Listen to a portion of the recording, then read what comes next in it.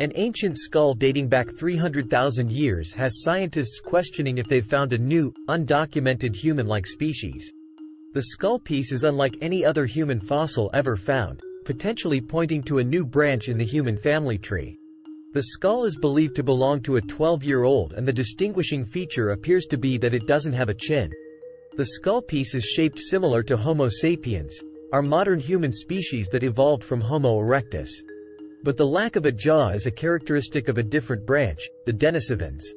Therefore, this leads some researchers to believe that a new species may have been located.